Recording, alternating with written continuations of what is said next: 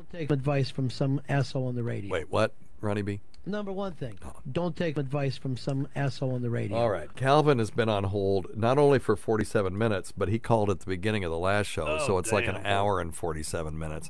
And then he gave up the ghost and called back. Calvin, area code 408, you're on Weird Medicine. Oh, now what? Oh no. Now what? Hang on. Um. Oh, well, no, it says. Oh, okay, resume call. Okay, hey, Calvin, are you there? Calvin. Calvin. Oh, Hello. it says I'm in the host room. N- Come on, Calvin. All Stay with right. us, baby. Stay with us. Hang on, we'll edit this part out too. I'm going to call it back. Let's see what happens. Thank you for calling Call-in Studios. Ho- Yo, Poor. Calvin. Your six-digit PIN number. Welcome, Dr. Steve.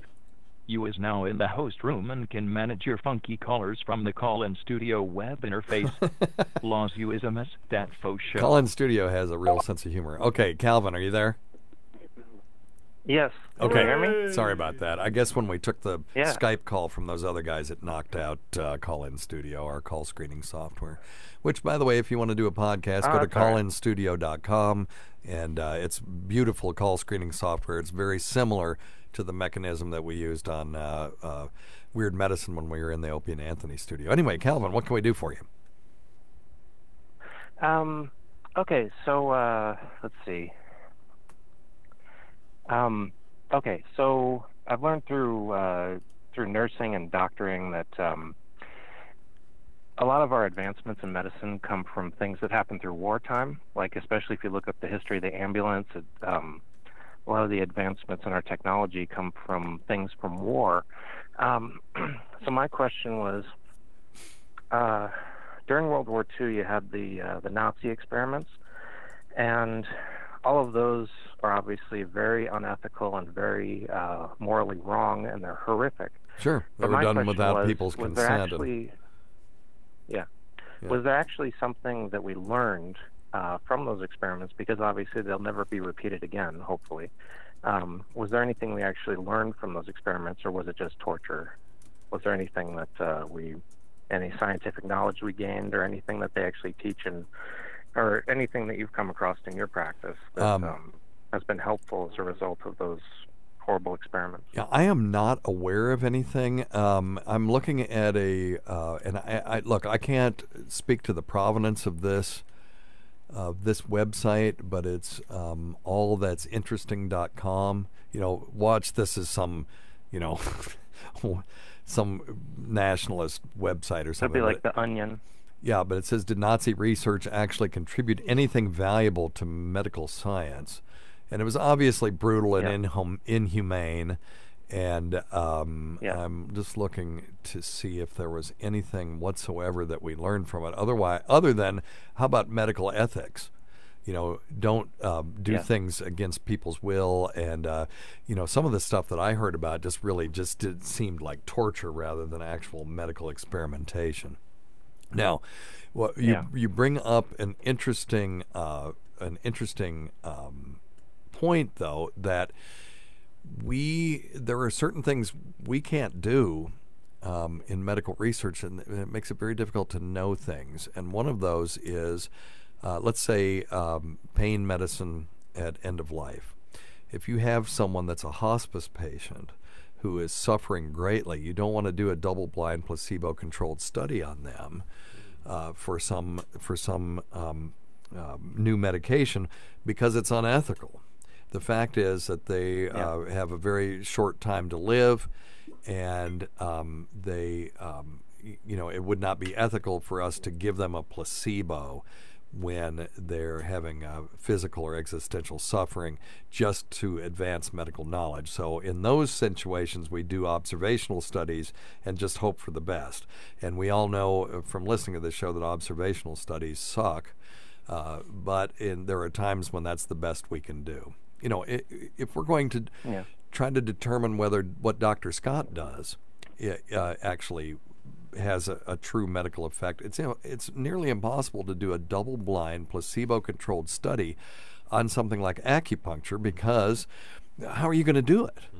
You know, what's the what's the what's the blinded part? Well, we the patient knows whether you're sticking a needle in them, and the pro- provider knows that either they're sticking it where they're supposed to or not. So then they'll do this thing called sham acupuncture, where you get somebody that doesn't know what the hell they're doing, just sticking needles anywhere. Well, maybe that has an effect though you know? And who knows who's to say that the meridians that the acupuncturists came up with 4000 years ago are the be all and end all to where you should be sticking a damn needle?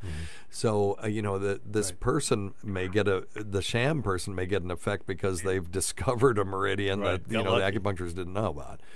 So uh, some of this so I, I I have no idea I, I'm going to say no, just because we nothing that the Nazis did were good was good, but um, uh, Right. I, I'm willing to be educated on that if there's something that we're using that you know that they that they used, but that they came up with. But um, uh, I think the more interesting thing is just the ethics of medical experimentation, and when you operate in an ethical way, there are things that we can't do. You know, and that we'll never Right. know because they are truly unethical. So. Yeah, and part of Dr. Gray's anatomy book, um, he took, uh, as, far as I know, he took survivors from war while they're still alive, and because of bombs and things, they were splayed open, and he was able to see how some of the internal organs work, um, from Yeah. what I remember. Yeah. Um, well, and you know, yeah, yeah, and that's the that's the inherent problem with placebo as well, because you have to tell somebody what you're injecting them with, and if you tell them, oh, this is just you know sugar water sugar pill or something, then uh, then it doesn't work because Well, then the the thing that's right. placebo is a psychosomatic effect. well, and they can do um, placebo-controlled trials ethically as long as the patient is aware that they could be getting one or the other and they agree to it. And as long as you give them informed Yeah. consent that you may be getting a, a, a placebo.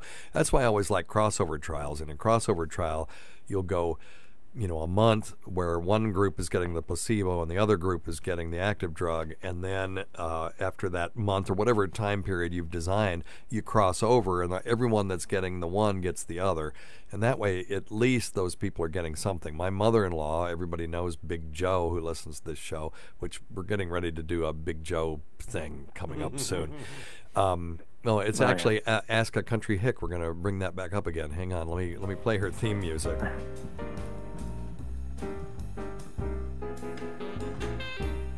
Ask a country hick. Ask a country hick. Okay, well, anyway, uh, so we'll be doing Ask a Country Hick again. And people who have listened long enough recognize that. That used to be the Ask a Prostitute uh, theme music, and we had to stop doing that segment. but I didn't want to get rid of the Yeah. uh, all the work I did on making that theme music, so we repurposed it for Big Joe. But um, uh, Well, but anyway, my as long my as she brings you some retardo cheese to snack on. Exactly. Thank you. Um, if uh, Big Joe was in a trial where uh, she has rheumatoid arthritis and they were doing a clinical trial, and she was guaranteed to get the drug for at least part of the time, and then when it was over, they were guaranteed. Everyone in the trial was guaranteed to get the drug for a period of time for free. Mm-hmm. I like those kind of placebo controlled trials because you get the same information and everybody, if it's some new and incredible thing, everybody gets the drug at some point. So, but anyway, so I'm deflecting because I don't really don't want to. Uh, dwell too much on the good things that Nazis may or may not have done in their horrendous, uh, unethical medi- uh, clinical trials, if you can even call them that. But I, I, I do think that the, the question of ethical uh, medical um, uh, medical research is a is something that's interesting to talk about. Yep. But anyway, cool man. Definitely. You appear. You got anything to plug? You still doing comedy? Um, yeah, I'm still doing that, and um, just uh, follow my stuff on uh, Twitter and Facebook, both Calvin Haha Comedy, if you're interested to see uh, what my next shows or whatever Okay, are. So, check them out. anyways, Thanks Yep. for calling, man.